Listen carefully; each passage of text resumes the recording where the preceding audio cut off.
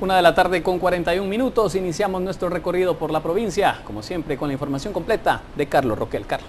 Gracias William, empezamos inmediatamente. El incremento en las deportaciones de menores de edad que afecta a nuestro país ha provocado que instituciones como Save the Children, Centro Ecuménico de Integración Pastoral y otras organizaciones que velan por la niñez y adolescencia organicen un conversatorio.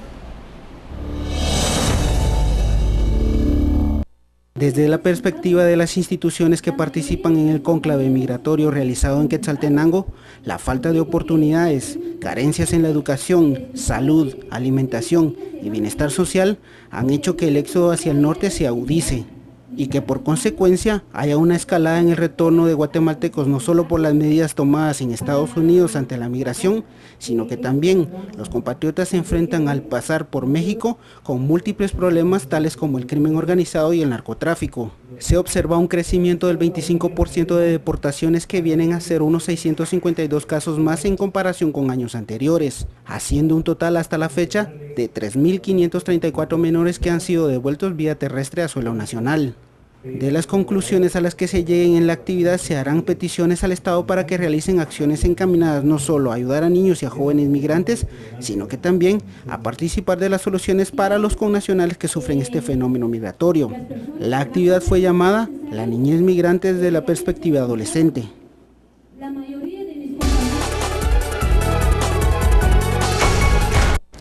En información urgente, hacemos en estos momentos hacemos un enlace telefónico porque recientemente terminó una asamblea de trabajadores de salud en Jutiapa en donde han decidido paralizar labores a partir de mañana. Pero es Darwin Pérez desde ese departamento quien nos informa. Adelante Darwin.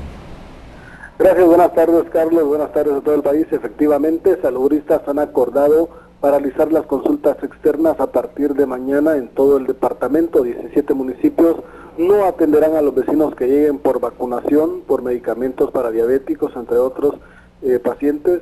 No se van a atender las consultas externas debido a que no se le ha pagado a algunos renglones del sector presupuestario en salud. Se manifiesta que eh, los saludistas ya no tienen dinero para movilizarse a las comunidades, por lo tanto no atenderán los servicios mañana en los 17 municipios, todos los centros y puestos de salud y el viernes el Hospital Nacional suspende la atención al público debido a que también a su personal no le han pagado en su mayoría, lo que les dificulta el poder realizar sus actividades ya que se desplazan a algunas comunidades lejanas especialmente en las áreas rurales, por lo que los sindicalistas acordaron a partir de mañana ya no atender al público para hacerle presión al gobierno y especialmente al Ministerio de Finanzas para que asigne la cuota al servicio de salud para poderles pagar los salarios, ya que durante el Día de Difuntos estuvieron yendo a todos los cajeros automáticos y lamentablemente no tenían dinero en existencia, por lo que se les dificultó el poder también asistir a enflorar a sus seres queridos. Todo esto ha despertado malestar en la sociedad jutiapaneca, Carlos. Esto es lo que se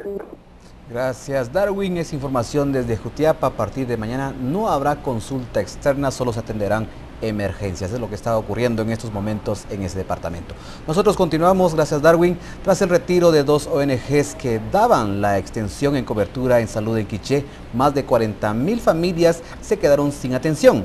El área de salud trata de cubrir este déficit, pero le es prácticamente imposible. El retiro de las ONGs ICOS y CORSADEC provocó la interrupción del servicio a más de 44 mil familias en 34 comunidades de Quiché y la situación se agravará en las próximas semanas porque la poca medicina que hay habrá que dividirla aún más para tratar de cubrir a estas comunidades. Considero complicado porque realmente de hecho ahorita el déficit que tenemos es ocasionado por las ONGs. Eh, sin embargo, para poder dar la atención y como estamos, nosotros tendríamos en algún momento que tener más recursos como ministerio. Los municipios más afectados son Joyabaj y la zona reina en Uspantán, donde se cerraron todos los centros de convergencia. En Joyabaj, la cooperación cubana trata de ayudar un poco, sin embargo, están a punto de irse de vacaciones temiéndose un incremento de la mortalidad infantil y materna. 121 centros de convergencia se cerraron en Quiché por el retiro de las dos ONGs. El área de salud trata de dar la cobertura, pero con pocos recursos. Salarios atrasados, falta de medicamentos y otros problemas se han identificado en los centros de salud de Totonicapán. La visita de supervisión la realizó la sociedad civil que solicita a las autoridades del Ministerio de Salud asignar los recursos lo antes posible.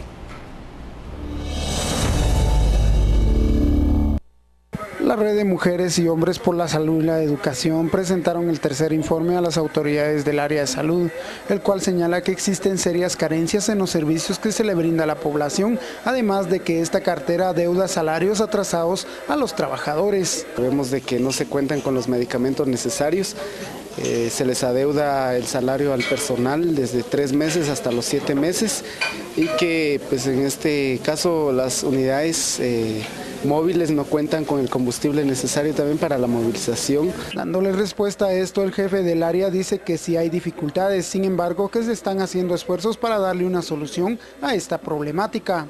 Es cierto que se ha tenido alguna limitante de tipo económico básicamente, pero gracias a Dios se ha logrado solventar.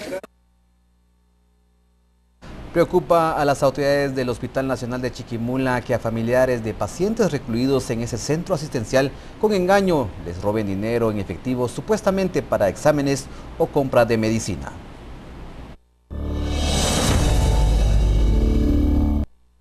Según el reporte recibido, todo se da cuando el familiar de un paciente sale de ese hospital y en las afueras lo contactan los ladrones y le ofrecen ayuda por lo que le piden dinero en efectivo para el pago de los exámenes o la compra de medicina más barata. Las víctimas son personas de las distintas comunidades rurales. De muchas personas que no saben leer ni escribir, desafortunadamente pensarán, bueno, si alguien me lo puede hacer, como no sé leer ni escribir, mejor que me lo hagan y a una de esas personas, a la pareja que le digo, me informaron que le robaron 900 quetzales.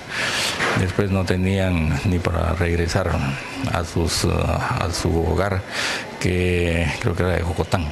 Como primera acción, la Oficina de Comunicación Social de ese hospital ha colocado avisos de alerta a los usuarios, aunque aún no hay un equipo policial que investigue y detenga a los responsables. Los municipios de Cubulco y Rabinal Baja Verapaz se verán afectados hoy y mañana con la suspensión de la energía eléctrica, informa la página de la empresa de Energuate.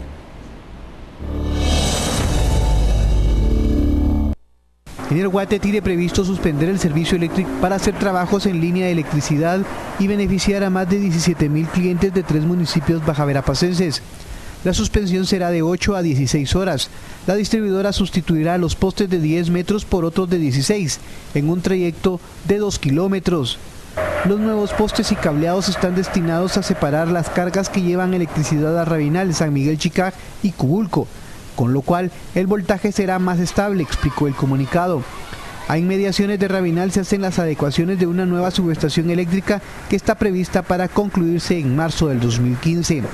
En Rabinal, las comunidades afectadas serán Pichec, Ventanas, Cumbre del Durazno, Joya de Ramos, Cochojabaj, mientras que a los pobladores de Cubulco les afectará en todas sus aldeas y caseríos, por lo que recomiendan que no almacenen productos perecederos.